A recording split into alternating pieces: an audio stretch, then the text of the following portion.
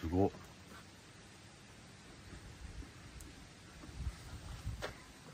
これもう見越してこの位置からつけてるでしょ？こうやるやりたくて。でもこれ使えるとこある？これぐらいやっぱり。シビアに。こんにちは俺がシビアに。マーク見て。マークこ俺の予想は今立ってるけど多分歩いてるうちに5センチさもっと下がって今度もう自立しては立たなくなるな。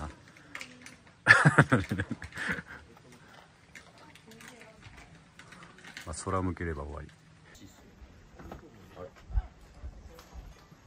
これで行くんでしょ今日初めてカメラ出したんがこの これやめてください。そう言ってほしい。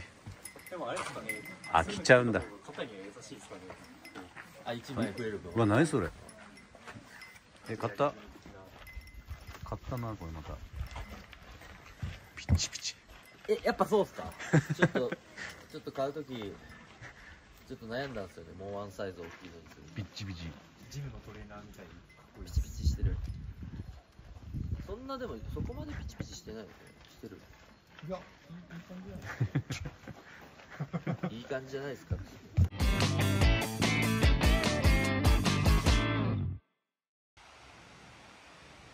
今日は3つだから箱。うん。だいぶミニマムにしたかな。ね。つけていきます。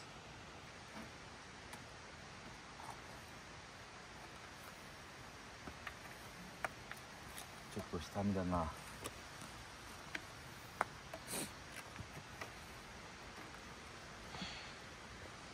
今日は下にな気分なの？気分じゃない。下見にしちゃった。どうだろう。やっぱり試し状一緒やとでも尾瀬小屋のねポップアップが本当にやっといてよかった。全然違う。全然違くない？もうこの量。違うもんね。うん。これで一回しょってみようかなこれで持てるもんね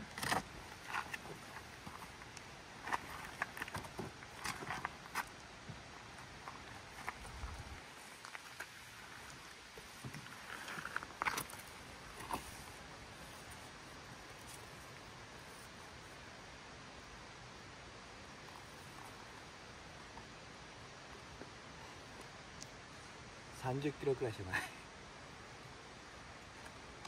いいんじゃんよかったよいややっぱりこの前よりかさ、うん。今商品も少ない商品。おぜぐらのよ時よりも少ない。かな。まあ布系が少ないかな。手ぬぐいとか T シャツとかはちょっとずつ少ない、まあ、もちろんそうだね。売れてるからさ。うん。おじぐの時全部持ってったけど。まあそうだね。多分それもちょっとずつあるんじゃない？そんな減ってないんだったらあの時の重さは俺の蜂蜜なんだなって思って。まあ蜂蜜とディスプレイ用品かな。結構アイアンが使ってあるあのー台とか持ってってたし。うんうんうん。そうそうそう。そうだよね。うん。いやもう本当にねディスプレイしゃ俺も反省だったな全然意味わかんない。ちょっと重たい木のまな板とか持ってきたもん。ねあれとかマジでいらなかった。いつものマーチを考えてて。うん。いやああいう重さとかさちょっとした重さを頑張って省いた結果がこういう感じだね。うん。まあもしかしたらもっとあるかもね。ミニマムにうんうんうん。できることもあるかも。そうだよね。あの山旅土産は販売する側も購入する側も軽いものがいいってことか。分かったから。本当そうだね。でもどんどん種類増えそうなんだけどどうしよえっていうのはどういうこと？え？いやなんかほらまたちょっとお声がけしようかなって思ってる新しい人たちもいるあし。あれじゃない？なんか種類少なくね。量多く持っていくか種類多く量少なく持っていくか。でもさ種類がいっぱいあった方がさお客さん側はさ楽しいよね。まあその時によって頑張ってください。あれだよ。五十嵐さんもねうん。今日もしまた重たい荷物があるなら僕が手伝おうかって言ってええただから僕が2人になったらテントはもっとうん。面白くない？だから牧歌さんを普通に牧歌の給料出すから雇うっていう仕方もありやと思うよ。まあ今後ね。今後。もちろん今後。まあ私も背負背負いたいんだよね、うん。フレームとかで。あるからさしょいばしごちょい場所後は嫌だ。長い。嫌だ。いいい尾瀬じゃない時もあるかもしれないよ。え。そういう場所後後じゃちょっと厳しい時もあるかもしれその時やっぱこのまあこのカゴはねちょっと人を背負うためとかでないうん。使えたりもするしっていうところでこのカゴしてるからさ。それ案外重いよね。それ重いそうなの。うん。そのカゴ。このカゴ意外と重いんだよね。よくご存知で。そうなんですよ。なんかいつもさ玄関に置いてあるからちょっと。じゃあちょっと邪魔だなと思いながらなるほどね。移動するんだけどさ。いやーまあまあまあ今日はいい感じじゃないですか。あとはお客さんどのくらい来るかわかんないけど。早く行こ OK 行こう行きましょう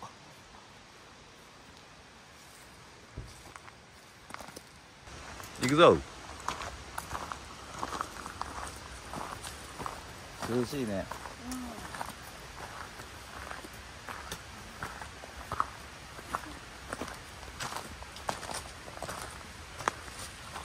ゆう何キロくらいになった？リュックの重さ。この前よりか軽い？おおいいね。まあ2泊3日と1泊2日は全然違うもんね。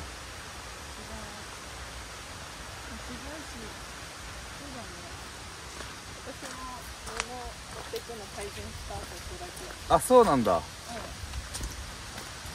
いいねこうやってやっていくにつれてパワーアップしていくね重いのは嫌だ重いの嫌だったねなんかやっぱり牧歌だから重くても大丈夫っしょとかっていう感じがあったから。重いものは重いわでも。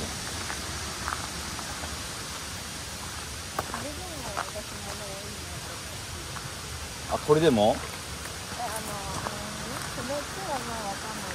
ああなるほどね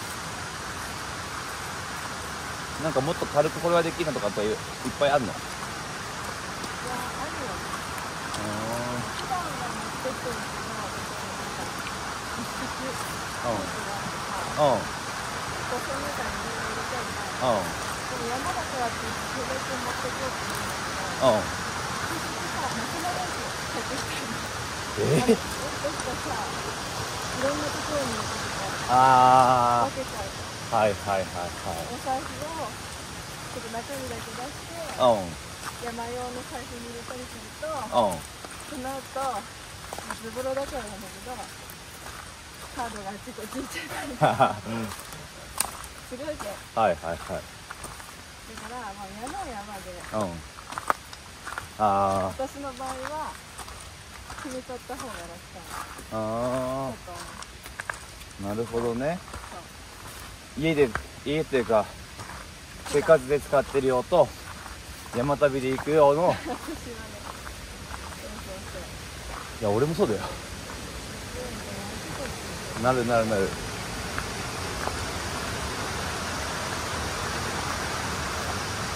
いやでも軽いから結構スイいけそうだわあいたやい？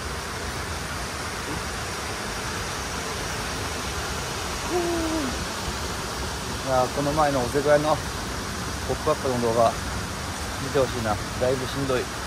牧歌をして。牧歌っていうかまあ自分たちの販売用の荷物が、90キロくらいあって。もう改善で。今日は30キロくらいになりました。今から一ノ瀬から。まずは三平峠まで登っていきますんで。ゆっくりと上がっていきます。はいいつものところで。休憩です。あいい？撮ってるよ。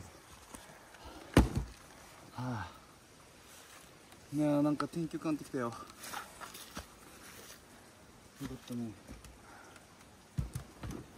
いやー荷物軽くても汗をかくわ。うん水で休憩しようかな。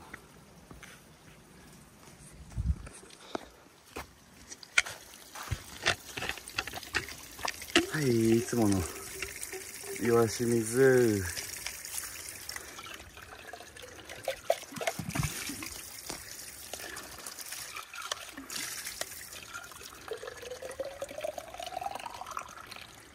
よいしょちょっと濡れてるね。はあ。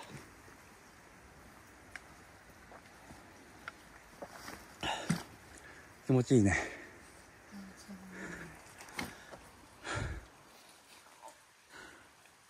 どう？どう？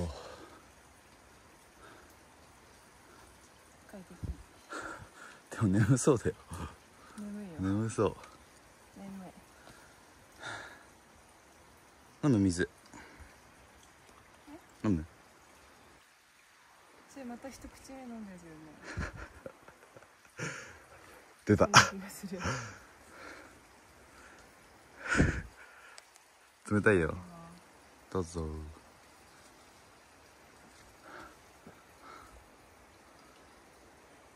今日曇りだったけど曇り予報だったんだけどなんか青空出てきた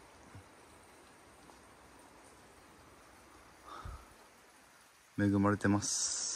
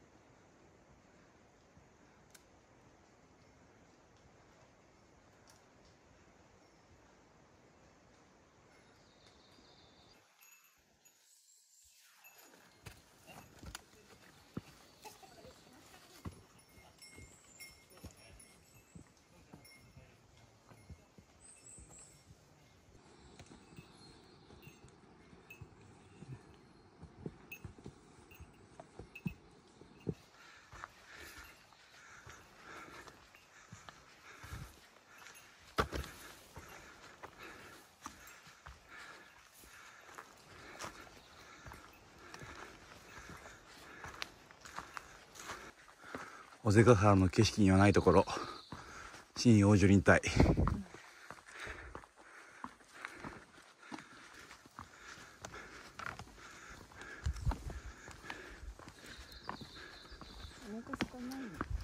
お腹空かないの。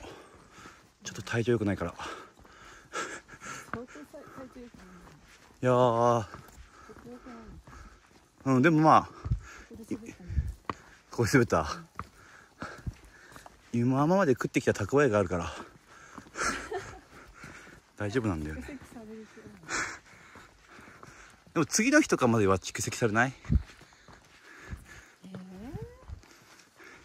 そういうものそうかな。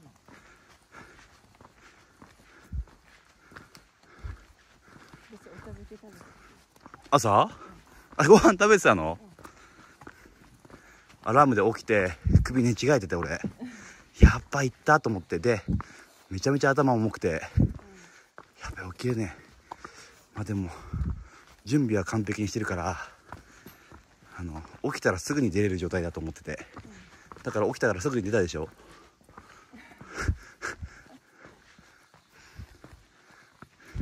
こしに来たらささすがに。うん。ゆっくりと同じ格好して出てて。マジ？うん。うつ伏せで。うあそうなんだ片足だけこんなになって。うんうんうん。昨日俺がゆっくりあの違う部屋にいたからさ伊勢がと弟が寝てる部屋にいたからさゆっくり迎えに行ったらさ伊勢と弟同じ格好してたよ。シンクロするんだろうね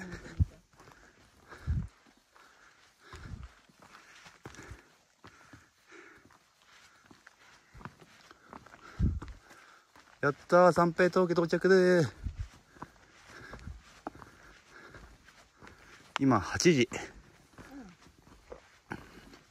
まあ9時到着は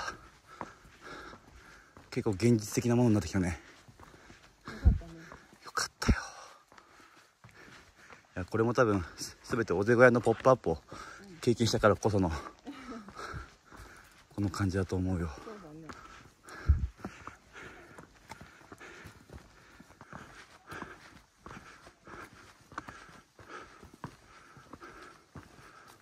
ゆうも見てほしいな。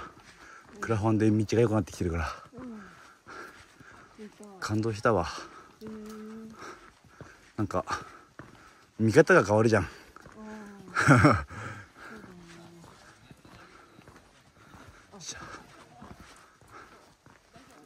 そうそうあのあれはこれから直すやつで。ほら。でしょ。綺麗。直ってるんだよ。うん。ちょっとでも一番やべえところから直さねえんだと思って。一番やべえところから手前直してると思ってさ。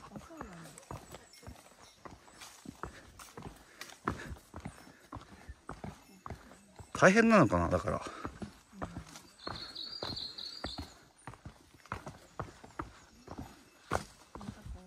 怖いっしょ。ここがさ一番怖いんだよ。うん。ここはもうそっからそっから。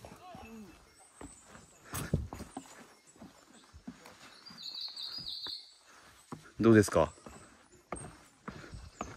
全部にジャパニーズボター手ぬぐいのあのデザインをさ2022年のやつ。全部そうそう。ジュッジュッジュッ多分器物破損じゃないか。落書きとかになるんでしょだから。金閣寺に落書きしたのと同じ多分処罰になると思う。やばいよね。そう考えてると。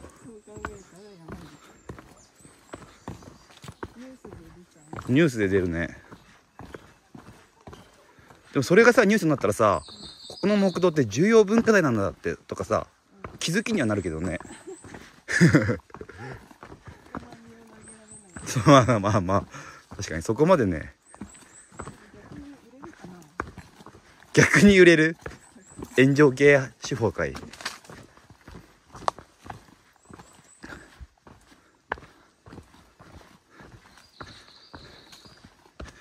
おー尾瀬沼のほとりで。綺麗じゃん。鏡のようだよ。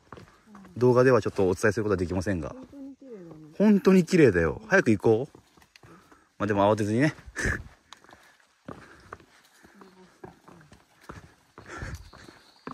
でも出発時間は遅れてませんよ。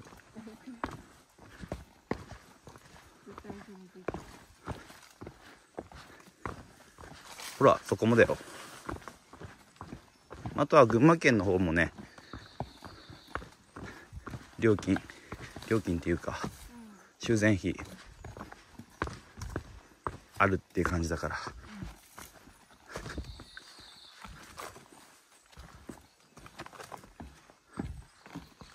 よいしょ。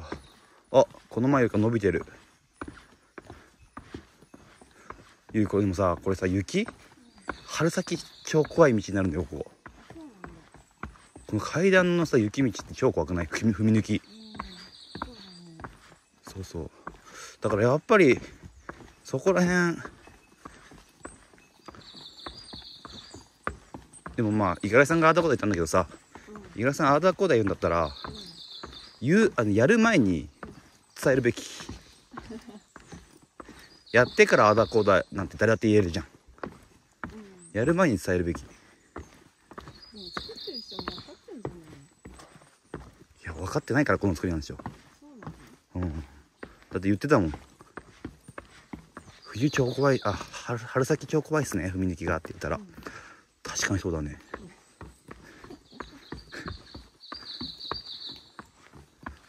まあでもなってみてね。なってみて経験してみてまたそれは反応しようかなっていう。ここの木もさ超古いじゃん。ここは多分治んないと思うんだけど。怖い怖いこういう風にずっと残ってるんだったらまだいいかなっていうね。まあでも木道だから10年15年でまた朽ちていくボロボロになっていくからさ。この10年間勝負ですよ。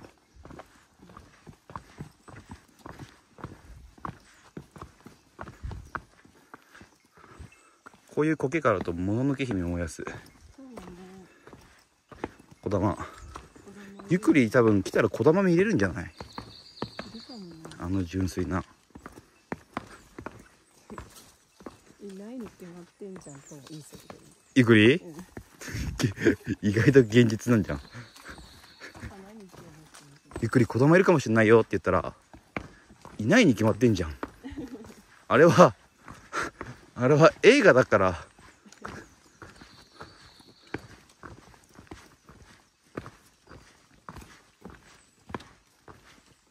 でもゆっくりめちゃめちゃ大人になってきたよ。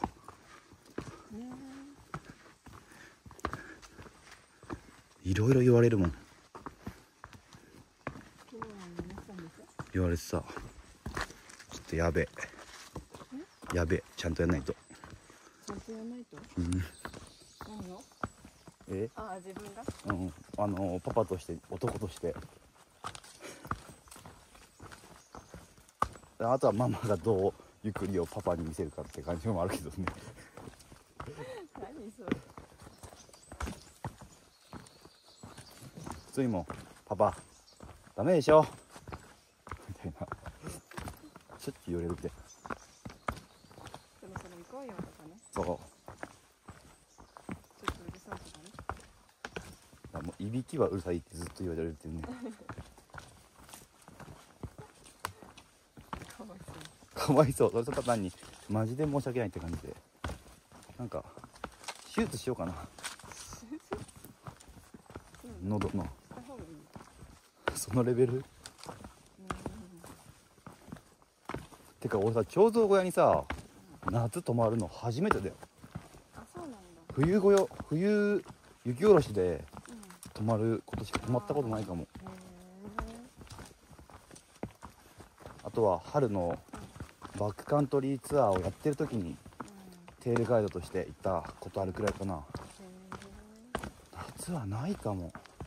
あったとしてもすっげえ昔だと思うよ。小さい頃。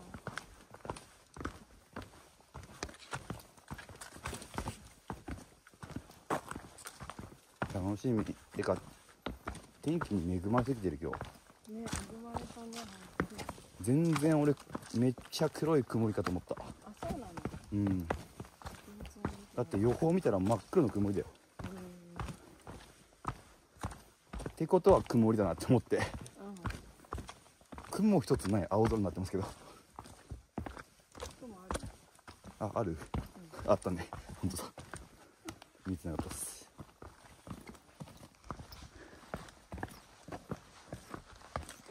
尾瀬沼山荘いや綺麗だね今日はね。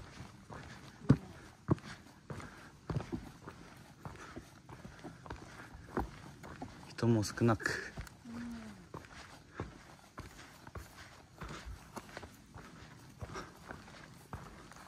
11ヶ岳全開じゃん。あ本日終了休みだね今日。尾瀬沼山荘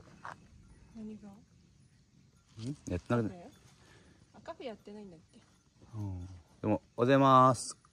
コーヒーくだい」って言ってくる。コーヒー飲みたくね。頂上で飲む飲もうか。じゃあ行こうもう早く使う早く使わないと余裕がないよね。余裕ない余裕ない、うん余裕こいてるとやばいよ。そうだよね。ゆゆ本当に携帯見ないからね。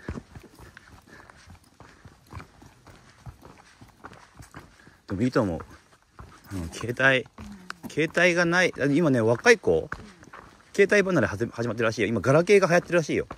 ヨヨーロッパの方では。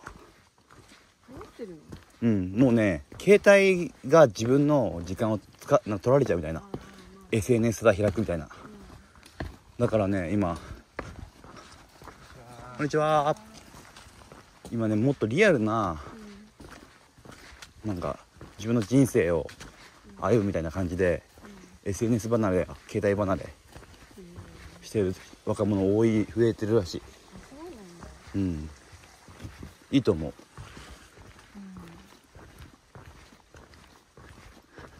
こういう自然にね自然をこう生身で経験しに来るっていうのがやっぱりいいなって思うよね。なんか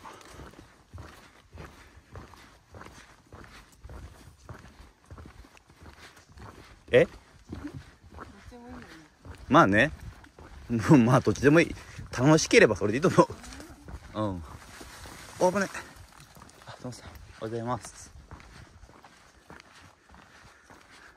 こういう YouTube もね思い出にも残るしね。俺たち撮影してるけど。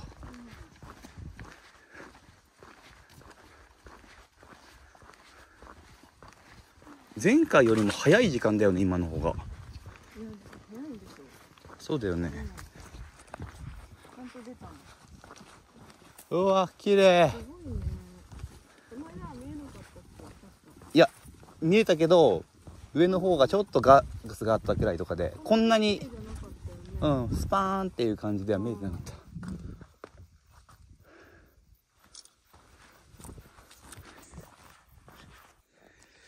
休憩。何時だろう今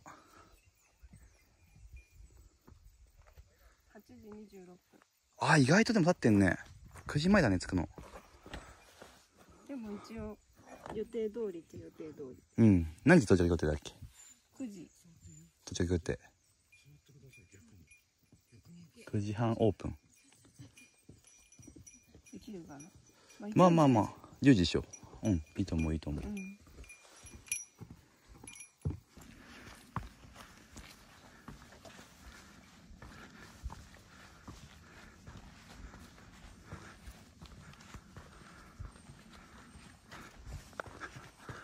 出た。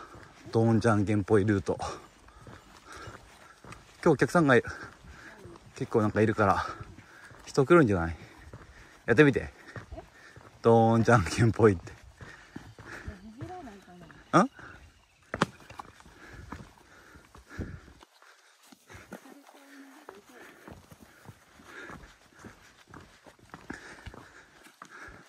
でもなんか来る気配がないさっき結構来たのに。いやわかんない。でもジャパニーズボタン見てる人だったら乗ってくれるかもしれない。すごいリスク。ジャパニーズポーターはハイリスクローリターンだから。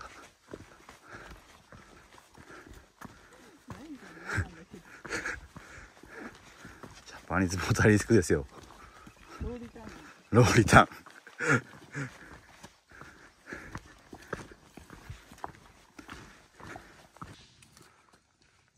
彫像小屋。目の前だ。9時前に着いたね。オッケーオッケー。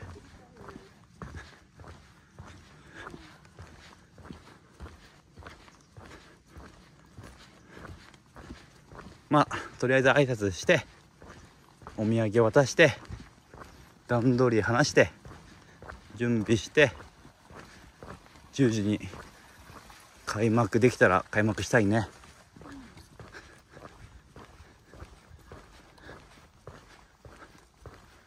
福島県側の方が今日は天気が良さそうな色してるね。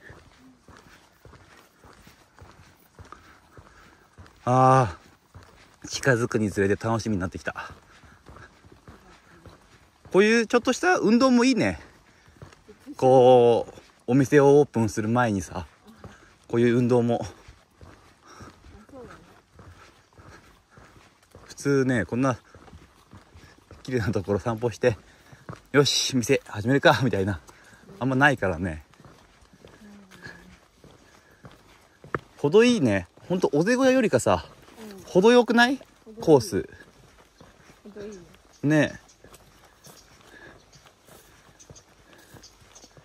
えよっしゃー。みんな休憩中かな？かなだいたいこの時間帯休憩中だよね。ね。え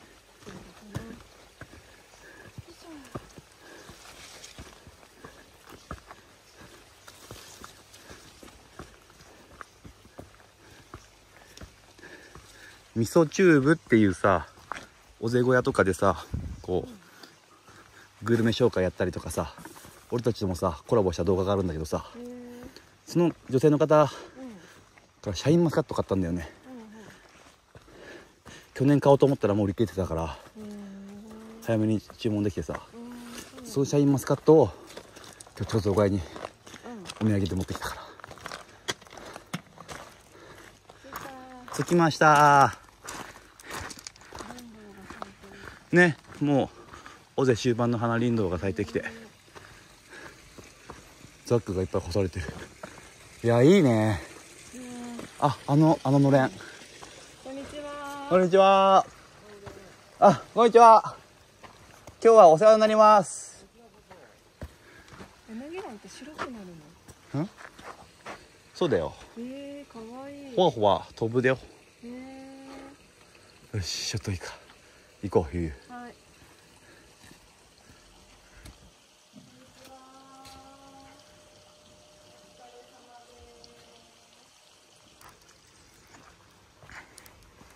これも Japanese porter. お昼になりました。いいよいいよ。お昼になりました。急に始まるんで。あのオゼオゼズオゼズなんで。やっとあのー到着する前のシーンは撮ったけど到着してからのシーン全く撮ってなくて全然撮れてなくてもうバッて広げた瞬間からお客さん超来てそう、めちゃめちゃ。やっと落ち着いたね。ありがとうございあ、ありがとう。あれ大清水で買ったんだ。あ、そっかそっか。マルシェで来た時は蜂蜜買って行ったんか。そうですね。なるほどね。ありがとうございます。困ってる。スイーツに撮ってるけど。こういうのがジャパニーズパターン悪いところ。誰でも撮っちゃうところが。彫像会で働いてる。でも、このみちゃんの話したんだけどね。このみちゃんのお母さんと会ったとか、YouTube で言ってて。のこのみちゃんです。見てるとあれ容量がいっぱいになっちゃう。そうなんですよ。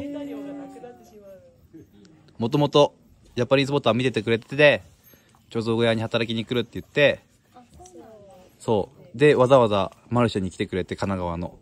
茅ヶ崎。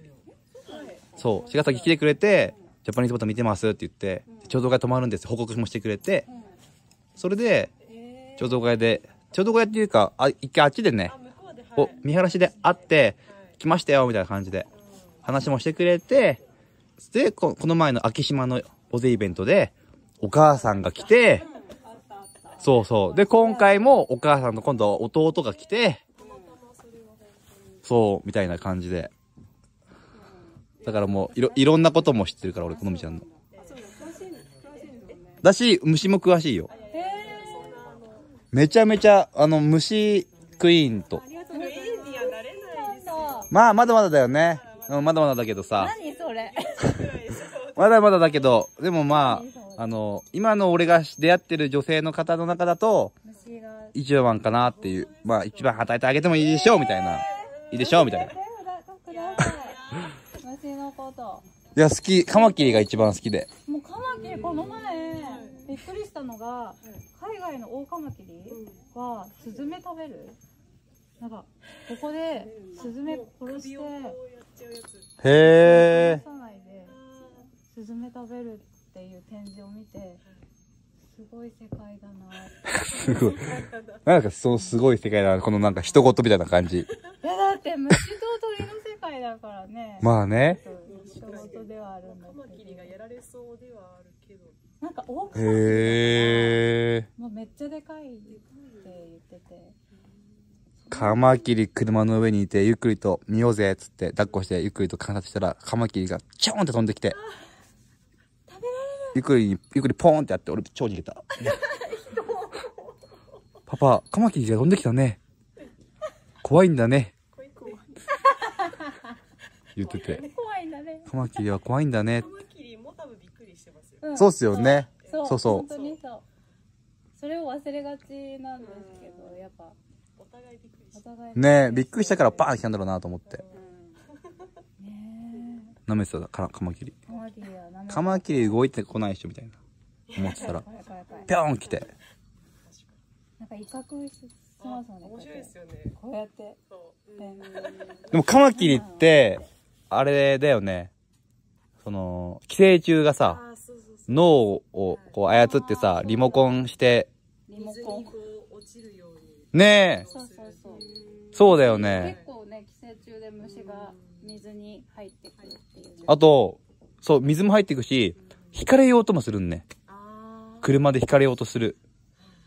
で、カマキリを、秋、秋手前、そう、出るために、なんかその、カマキリが、その、なんだろう、道路、秋手前くらいに出てくるんだけど、それ踏むと、パーンって音がして、パンクしたかと思うんだよね、こっち。そんなことですねそう、すっごい破裂音が、して、カエル踏んだみたいな感じだパーンって言うの。まあ、そんなカマキリの話はもう、やめますか。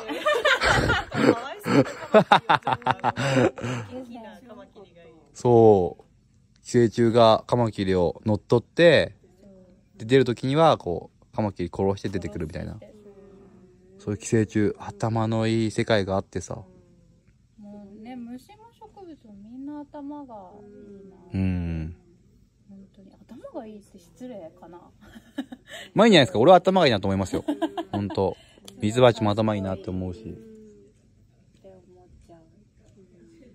まあこんな話をしてるってことはね、暇ってことですよ。え 急に、そう、お昼、今12時になったんで、お腹減ってきて、そうそう。売店行きます。あ、別館。別館で。でも別々で、30分交代、俺30分交代みたいな感じで行こうかなっていう。誰もいなくなっちゃそう。ちょっと紹介させてもらいます。今土産テント。まあ、これの蜂蜜とハーブティーに関してはもう製造と販売すべて自分はやっていますが、このデザインはゆゆが描いてくれました。で、こちらの美容液。ホーリーバジルからオイルを抽出してね。あ、朝木まだらでテンションが上がってます。朝木まだらで。朝木まだらはもうい何回もやってるんで。あそうなの？はすごくない？あんなテンションで話せるんだない。そうそうそうそう。うさぎまだらだってなるでしょ？そうそうそうそう。でも多分絶対好みちゃんに関しては昨日も一昨日も多分見てるけど、そう見てるのに今の朝木まだらでもテンション上がってる。すごいなあ、そうなんだ。へえあそういう感じで回ってるんだ。そして尾瀬沼のほとりでコーヒ新新新商品。新商品。ー片品村のね平山くんにね焙煎してもらってこれ片品村の。平山さんの中の尾瀬沼のイメージイメージね。平山くんとも一緒に山とか滑ってる時からさ平山くんも尾瀬大好きだからさガイドも来るしこんにちは。イメージしてくれてます。そして炭アクセサリーの、えーシーグラスと貝殻湘南で拾った貝殻桜貝だったりあとはなんだっけこの白い貝は。波間菓子は。波間菓子は。水場所。所。もう全部一点物です。で今日ねまだ昭和ガラスのキャンドルホルダーもやっぱりやってるのねそうですね。できればやっぱり出会いを多くしたいなと思ってこれすごいいい作品だと思うから。うん、まあ値段が高いからねこの尾瀬の方に買われるか方は今のところ少ないなって思うけどうん。その中でもやっぱりね欲しいなって思う方がいたら受注受注するっていうところでアップしている感じだよね。でこれイヤーカフだね。これはうんイヤーカフなので開けてない人も。穴が開いてない人でも大丈夫、うん。で招きおこじょ。これ和紙で作られて軽いね。軽いし可愛いし。背中に「オゼ」と書いてあります。大勢背負ってます。そしてボッカバッジはステッカー。ガラスフラワーそして和とじ。和とじがこっちが出たんだね。い、はい、出ました。これ超欲しい。うんそれはやっぱ鹿と雲の組み合わせがすごく人気で。そうだね。言ったじゃん。人気になるよって。うん。分かってた。分かってた。これは糸が違うんだよ。こうやって合わせてくれてんだよ実は。あそうなんだ。そうそうそうこの色に。じゃあお酒。あそうなんだ。え帰る？え別館行ってくる。あ別館行って。別館行ったらまた日の又村に帰る。帰る。なるほど。あれだって。日の又歌舞伎を見に行くんだって。歌舞伎。今日なんだって。それ YouTube で届けたら面白いなと思って。そうだね。おお願いしておきました。ね。もう。あのジャパニーズポタですって言ってら。あジャパニーズポタですか。お世話になっておりますってなるかもしれない。はいなると思いますぜひぜひ。で俺もたちも撮影が終わったらどっちか別館行きます、うん行くはい行きます。い。ってらっしゃい。別館おすすめなんで。うんさあその和とじのね話もしながらあとはオリボン御朱印帳がありながら手ぬぐいもあって T シャツもあるって感じだね。手ぬぐいも今新しいの作ってるんでねそうなんだ。ないけどねまあまあまあまあ。今型を掘ってる。最中板を掘ってる？掘ってへるっていうかまあいろいろ機械彫りとか手彫りとかいろいろあるけどあそうなん機械彫りでえ。へうんやってくれてるみたい。え楽しいっす。楽しい楽しいっすっていうか楽しみです。間に合わなかったです。そうなんだ、う今回はね。へえ。まあテントっていうに山旅土産もどんどんあれでしょ今日2回目だもんね。テントとしては。ね。今日2回目無事できましたね。ね彫像小屋の売店でやらさせてもらってて。うん。めちゃめちゃいいよ。めちゃめちゃいいね。真ん前でやらせてもらって。写真撮るよ。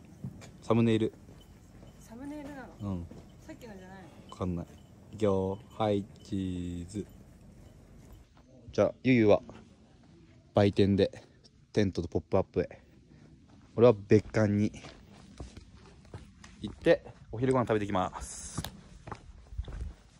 いやーやっぱこの空間超すごい素敵。しかも人もたくさん来てくれてよかった。めっちゃよかった。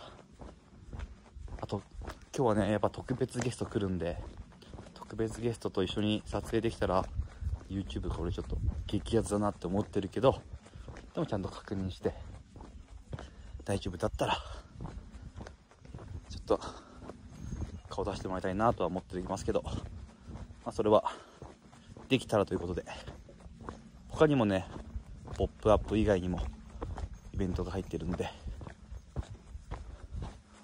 お疲れ様でーす。あ本当ですか？俺逆に今あの別館でご飯食べに行ってくるんであの妻がいるんでいろいろ質問してください。嬉しいです。さあこちらおで沼ヒュって。去年泊まりました。あ俺彫像小屋きょ一昨年泊まってるわ。さあ別館です。なんか人が少ないみたいですけどまあ人が少ない方が俺は嬉しい。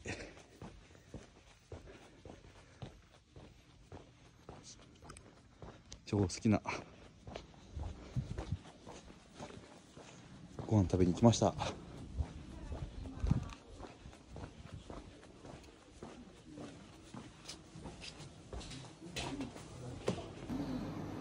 美味しそう。これがソーセージ。なんちゃらでこっちがロースハムなんちゃらクロワッサンタイプとバケットタイプ。でレモネードです。いただきます。まいちゃんはマフィン。マフィン。ほぼ食べちゃった。マフィンハーブティーやとなんかシナモンアップル。シナモンアップルティー？うん。へえい。ただいてます。ねめっちゃ美味しいんだよこれこれでも初なんで。足りなかったら追加でカレー食べます。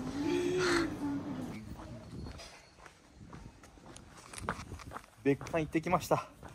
えー、サンドイッチ2個も食べました。ちょっとゆ1時間ねゆっくりしちゃったんでちょっとゆう大丈夫かな。怒ってないかな。